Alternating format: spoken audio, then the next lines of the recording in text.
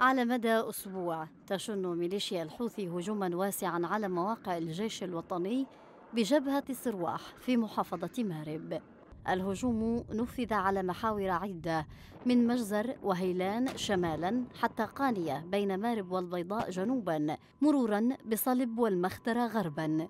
أحرزت فيه الميليشيات تقدما في بعض المواقع قبل أن تستعيدها قوة الشرعية بعد ذلك.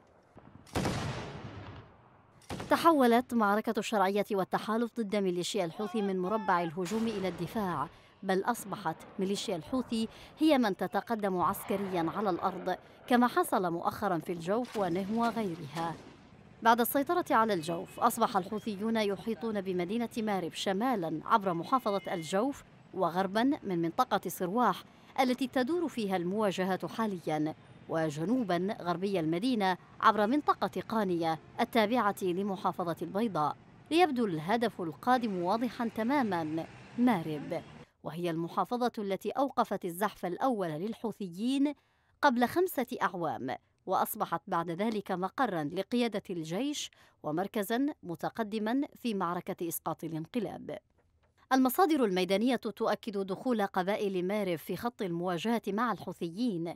فيما تقول المصادر أيضا أن التحالف يرفض حتى الآن دعم الجيش بالعتاد الثقيل الذي يمكن مارب من كسر أي هجوم للميليشيا مكتفيا بضربات جوية بين حين وآخر. يتعامل قادة الجيش في مارب مع المعارك التي اندلعت مؤخرا وكأن القرار هو قرار الرياض فهي وحدها من تحدد مصير مناطق سيطرة الشرعية فإذا كانت هناك تفاهمات بينها وبين الحوثيين بشأن تسهيل سيطرتهم على ما تبقى من مناطق الشمال كما يقول مراقبون فإن ذلك سيتحقق في ظل حالة الاستلاب التام للقيادات السياسية والعسكرية.